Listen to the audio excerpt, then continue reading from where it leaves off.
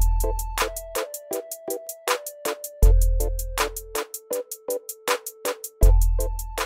Nos, trois associations, euh, le planning familial et, SOS Homophobie, euh, ont effectivement euh, porté un, recours en, mars 2023 pour mettre en place, faire en sorte que l'État puisse mettre en place la loi sur l'éducation à la sexualité qui date de, 2001.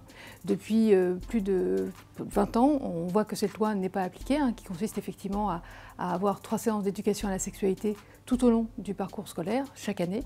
Et euh, de multiples rapports, de multiples constats sur le terrain ont montré que cette loi n'était pas appliquée. Aujourd'hui, euh, seuls 17% des élèves ont reçu euh, ces trois séances d'éducation à la sexualité. Donc on voit à quel point on est, on est obligé aujourd'hui d'aller plus loin en termes d'interpellation, plus loin que porter notre, parole sur, ces questions d'éducation à la sexualité.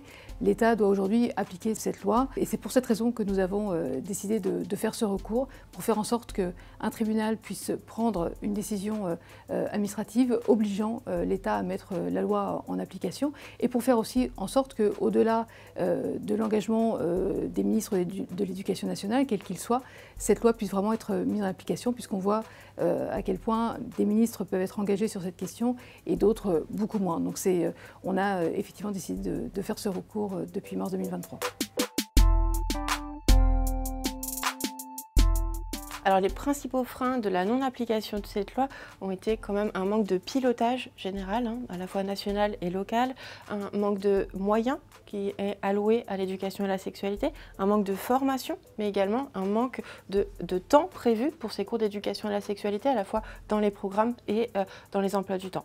Après, cette, euh, absence de, ces absences de cours d'éducation à la sexualité a un impact important, hein, à la fois sur les jeunes, mais sur la société de manière générale. Hein. Ça va être une augmentation des violences, ça va être une augmentation des préjugés, par exemple sur les, sur les IST, ça va être euh, des idées reçues qui sont toujours présentes sur euh, les LGBTI-phobies, sur euh, les VSS. Voilà, c'est un ensemble d'éléments qui montrent que très clairement, si cette loi était appliquée, il y aurait potentiellement moins de violence dans la société.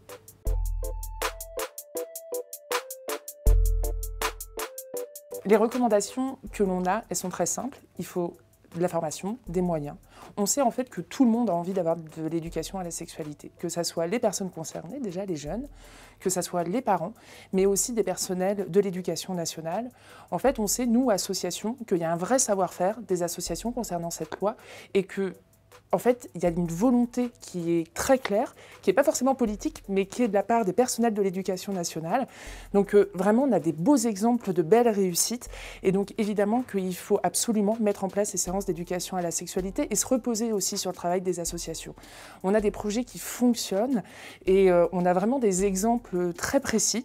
Donc euh, c'est ce savoir-faire des associations à valoriser et travailler absolument entre le ministère de l'Éducation nationale et les associations euh, qui, euh, depuis des années, y travaillent.